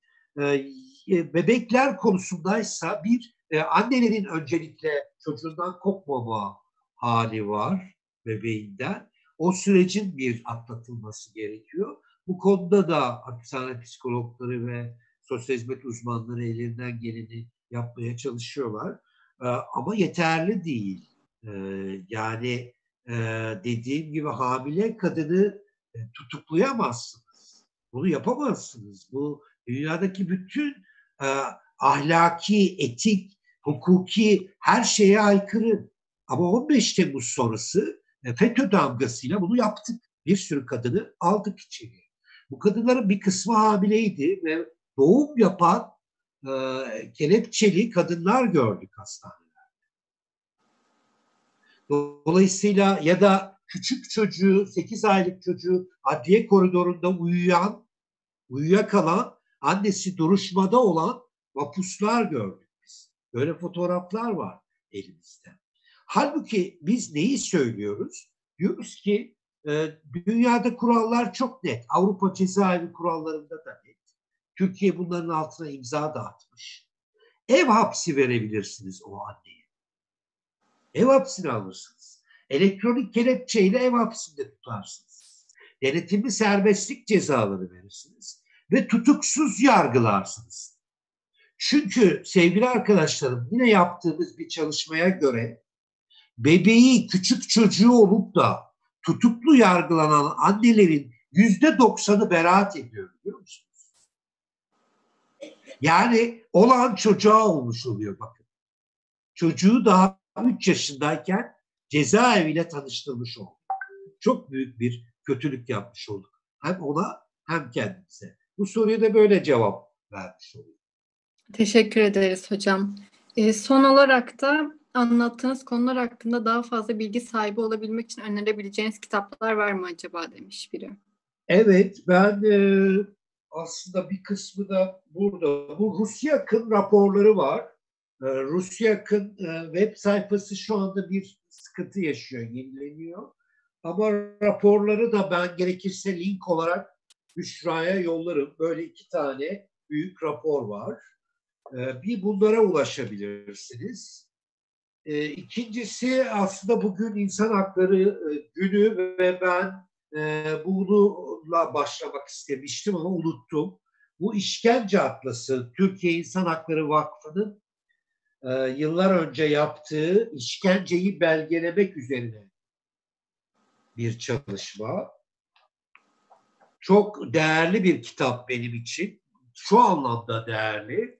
E, bir kere okuması çok zor ee, çok e, insanı incitiyor. Bir insan bir insana bunu neden yapar? Niye yapar diyorsunuz. Dolayısıyla bu işkence atlası benim önereceğim kitaplardan.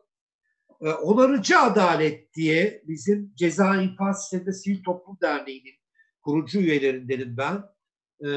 Bizim çıkardığımız bir kitaptı. Dernekte var mı bilmiyorum ama bu da şeyde var PDF olarak CIST'ın internet sayfasında var. Onarıcı adalet niye önemli?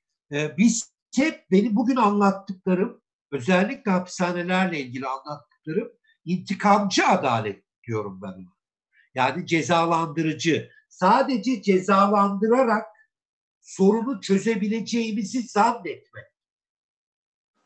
Oysa onarıcı adalet bunu tam karşıtı. Yine bunda da ceza var. Ama onarmak var. Meseleyi onarmak. Problemi onarmak. Yani Özgecan'ın e, katilini yakalayıp hapse atıp hatta onu hapishanede öldürtmek değil çözüm. Çözüm o değil. Çünkü Özgecan'ın e, cinayetinden sonra her gün yine 3-5 kadın öldürülüyor hala. Yani problemi çözen cezalandırmak değil. Burada cezalandırmayalım anlamı gelmesin size. Ama meseleyi çözecek olan o değil. Meseleyi çözecek olan onarıcı adalet. Yani şartları, onun oluşma şartlarını ortadan kaldıracaksınız. O olayın oluşma şartlarını ortadan kaldıracaksınız. Bunu öneririm. Özel ihtiyaca sahip mapuslar üzerine hapishanelerde eşcinseller var, translar var, çocuklar var, bebekler var, engelliler var, kadınlar var, yaşlılar var, yabancı mapuslar var. Dünyanın her yerinden mapus var. 8 bin yabancı mapus var biliyor musunuz? 83 ülkeden en son öğrenmiştim. 83 ülkeden insan var. Dolayısıyla özel ihtiyacı olan mapuslarla ayrıca ilgilenmek isterseniz psikolog olarak falan. Yapı Kredi'nin e, Cogito diye bir sayısı vardır dergisi. Onun şiddet sayısını öneririm. Şimdi masama almamışım. Şiddet sayısı çok önemli. E, çünkü orada özellikle size bugün anlattığım birçok şeyi ta 1980'lerde, 70'lerde tartışmış insanların açıklamaları var, bildirileri var. Yani ben aslında yeni bir şey söylemiyorum. O yüzden de belki mutlaka okuyun diye önereceğim kitaplardan biri de e, Nobel ödüllüdür. O da buralardaydı bulursam. E, Kırmızı Pazartesi kapağını buldu. Marquez'in Kırmızı Pazartesi. Bu bir romandır. Marquez'in en e, kısa e, romanıdır. E, bunu niye söyledim? Nobel ödüllüdür Kırmızı Pazartesi. E, az önce dedim ya ben yeni bir şey söylemiyorum diye. Kırmızı Pazartesi de o bir kasabada birisi öldürülecektir, bir cinayet işlenecektir. Herkes biliyordur ama bilmiyor gibi yapıyor. O yüzden bu roman sizin dünyaya bakışınızı değiştirir. Ne olur okuyun. Yani aslında e, yeni bir şey söylemiyorum derken benim bütün söylediklerimi Adalet Bakanı da biliyor. Sayın Cumhurbaşkanı da biliyor. Sadece bu irade meselesi. Yani e, ne yapmak istiyorsunuz onu ortaya koymanız gerekiyor. Ben 25 yıllık neredeyse sivil toplumcuyum. Hayatımda hiç yeni bir şey ayrıca istemedim ben devletten. Hep dedim ki şunu yapacağım diyorsunuz. Bunu yapın. Şunu yaptığınızı iddia ediyorsunuz. Bunu yapın. Bunu yapmıyorsunuz. Yapıyormuş gibi görünüyorsunuz. Yani hapishanelerde rehabilitasyon yok. Bunu anlatmaya çalışıyor. Dolayısıyla yeni bir şey söylemiyoruz. Ya da depo hastaneleri kapatın diyoruz. Neden? Alternatifi var. Psikiyatri klinikleri var. Gayet insan sağlığına, e, yaşamına saygılı. Kendimizi burada iyi hissediyoruz diyor. Defalarca depo hastanede kalmış bir hasta diyor ki ben burada kendimi iyi hissediyorum. Saygı görüyorum burada diyor. Bu çok önemli bir şey. Dolayısıyla bunları önerebilirim. Filmler önerebilirim. Ya mesela 12 Kızgın Adam cezalandırma üzerine önemli bir filmdir. 12 Kızgın Adam e, filmi var. İki tane biri siyah beyazdır. Çok eski bir filmdir. Bir jürinin 12 kişilik bir jürinin e, 15 yaşındaki bir çocuğun idam cezasına çarptırılmasını tartışıp karara bağlayacaklar. 11 kişi idam edelim diyor. Bir kişi hayır diyor. Bunu tartışıyorlar. E, filmin sonunda e, herkes hayır diyor. Bütün o onarma şeyi çıkıyor. Herkes kendisini bile suçlu buluyor. Çocuğun o cinayet şeyinden, yaptıklarından. Kendisini bile suçluyor. Dolayısıyla e, başka neler öyle? Hücre Hücre 212 diye bir film var. İzlemenizi isterim. Biraz gardiyanların dünyasına bakmanız için infaz koruma memurlarını anlamak için e, çok önemli bir film. Yine e, e, kapının e, öbür tarafındakiler diye Yonca Güneş Yücel, e, Doktor Yonca Güneş Yücel'in doktora tezi ve benimle paylaşmıştı. Üzerine çok çalıştık ve bu kitap olarak çıksın dediğimiz bir kitap ve iletişim yayınlarından çıktı. E, bayağı da okunduğu iyi bir kitap kilidin öbür tarafındakiler e, gardiyanlar. Çünkü biz bir meseleyle uğraşırken aslında o meselenin, meselenin bütün taraflarını iyi anlamamız lazım. Ben ne dedim? Çok zor bir iş yapıyorlar. Ama bir dakika diyorum sonra. Çok zor bir iş yapıyorlar diye kötülük yapma hakkı vermez bu onlara. Bu kadar. Yani insan hakları biraz bu kadar arkadaşlar. Kimsenin kimseye kötülük yapma hakkı yok.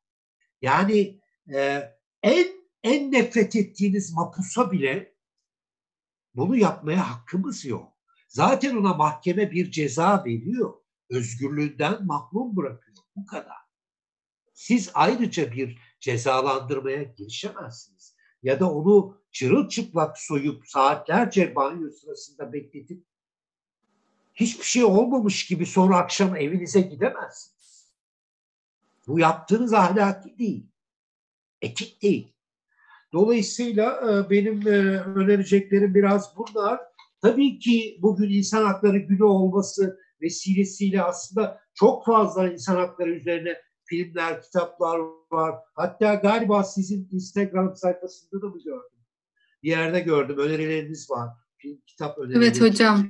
Bir liste Biz de önerilerde bulunuyoruz. Evet orada da epeyce e, çok güzel benim de önerebileceğim şeyler vardı. Ama insan hakları raporlarını okumanızı, mesela bugün insan hakları günü olması vesilesiyle Türkiye İnsan Hakları Vakfı ve İnsan Hakları Derneği'nin 2020 yılının 11 e, ayının e, çetenesini çıkardılar, bir raporunu. Bugün bulabilirsiniz internete girdiğinizde. TİV'in, iadenin sitesinden. 11 ayda, sadece 11 ayda neler olmuş Türkiye'de? Bunları görebilirsiniz. Bunlar önemli. Bunlar e, sizlerin özellikle e, meslek olarak benim çok önemsediğim bir grupsunuz. Çünkü rehabilitasyonu yapıca, yapabileceksek eğer e, sizlerle yapabiliriz. Ben e, e, diğer güvenlik görevlileriyle yapamam. Orada başka bir hiyerarşi var. Başka bir ilişki var. Onlarla gerçekleştiremem. Yine eğer ruh sağlığı hastanelerinde yıllarca orada kalıp hiçbir iyileşme göstermeyen insanların sayısı azalsın istiyorsam yine size ihtiyacım var. Sizin aydınlık e, zihninize, e, enerjinize ve etik e, kurallara bağlılığınıza ihtiyacım var. Kesinlikle hocam. Hocam çok teşekkür ederiz. Bir sürü soru var ama maalesef ki vaktimiz çok kısıtlıydı. Hatta tamam, yaklaşık iki saat oldu. Çok teşekkür ederiz. Ee, kitap ve film için gruplara paylaşacağız. Çok sormuşlar tekrar atacak mısınız diye. Ee, tamam, ben çok teşekkür ederiz hocam. Çok sağ olun. Şey olursa yeniden yazabilirim. Evet hocam. Sen de yollayabilirsin. Hocam söylediğiniz gibi ikinci atölyeyi de umarım gerçekleştiririz. Hatta isteyenler olursa katılımcılardan mesaj atarlarsa çok seviniriz sayfaya. Evet. İstek yani olursa depoyu, ikinci atölye Evet, depoyu, depo akıl hastanesinde hayat belgeselini bugün verdiğimiz linki izleyip üzerine tartışmak isterseniz sadece oraya odaklanırız. Benim de çok anlatacak şeyim var size o konuda. Çünkü dediğim gibi hem iki büyük raporun hazırlanmasında var oldum. Defalarca bu hastanelere gittik. Ee, bizim gitmelerimiz öyle e, bir saat yine gidip çıkma ziyaret gibi değil biz bayağı üç gün sabahtan akşama kadar oralarda olduk, servislerde olduk. Birlikte yemek yedik, birlikte etkinlik yaptık falan. Hemşirelerle saatlerce sohbet ettik. E, hekimlerle de öyle. Dolayısıyla belgesel çok kıymetli. Belgeseli izleyin, üzerine sohbet edelim gerçekten. E, çok zihin açıcı olacak. Kesinlikle öyle hocam. Çok teşekkür ediyorum ben. Ee, Biz çok teşekkür ederiz hocam vaktinizi ayırdığınız için rica. Ederim, rica ederim. İletişim ee, bilgilerimi isteyenlere de verebilirsin sevgili Büşra. Tabii ki de onu da paylaşacağım hocam. Her şeyi atacağım bilgilerinizde. Atölye burada sonlanıyor. Bizi etiketleyip Instagram'da paylaşmayı unutmayın. Çok teşekkür ediyorum hepinize bizi iki saat boyunca dinlediğiniz için. İyi akşamlar diliyorum herkese. İyi akşamlar. Hoşçakalın. Hoşçakalın.